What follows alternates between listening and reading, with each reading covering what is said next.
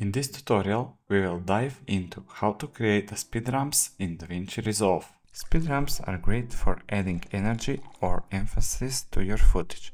While they can be done in camera, they are mostly often added during editing. When slowing footage, it's crucial to be careful. If you are aiming for slow motion speed ramp, it's better to shoot in slow motion and then speed it up in real time rather than attempting to create slow motion in post. Let's apply a speed ramp to this shot. The camera movement looks good, but the pouring of the liquid it's a little bit slow. I want the first portion of our video to be fast and then to slow down a little bit. To start, right click on the clip and bring it up to retime control. You can also press Command R on Mac or Ctrl R on Windows. The drop-down menu below lets you adjust the speed of the entire clip. For this, I only want to speed up the first part. To do this, create a speed point where you want the speed ramp to start. Now, move the playhead where you want the speed ramp to occur. So, let's say over here. Now when I reopen the speed menu to over here to add a speed point option and this right now it's available. You can control the speed of the either side of the point. You can add a multiple speed points, but in this case I will use just one. I will adjust the first portion to 800% of speed.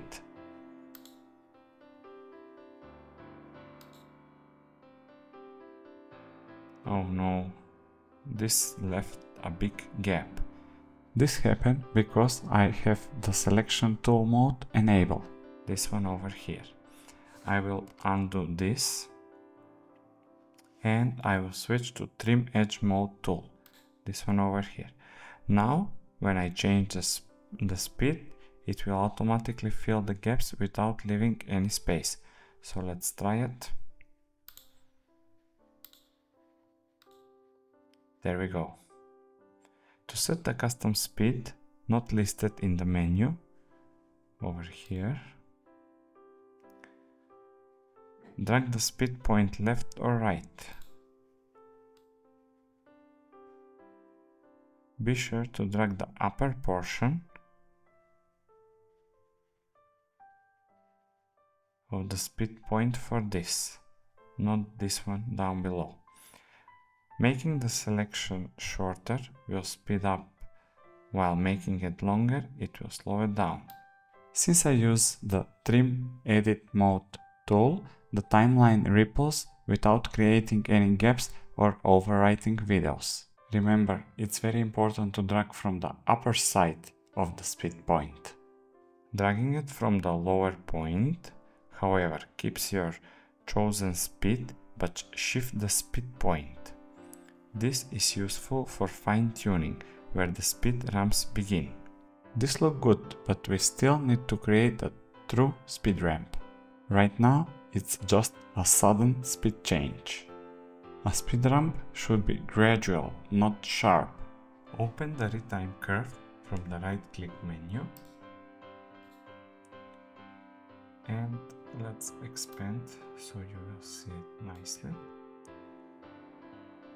The keyframe shows where the speed changes and the red line represent the speed over time. Right now, the change is too sharp. Select the keyframe and convert it to an easy keyframe with this one. Now we have a slight curve. Use the Bezier handles like here to adjust how smooth the transition will be.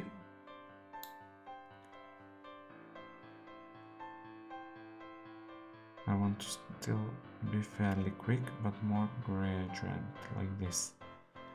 Now this is a proper speed ramp.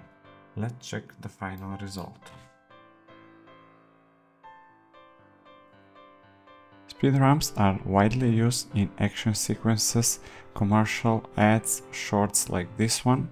Just remember, don't go overboard with this one. Use it a little bit, only subtle. If you enjoyed this video, please like and subscribe to help me reach more viewers. See you in the next one.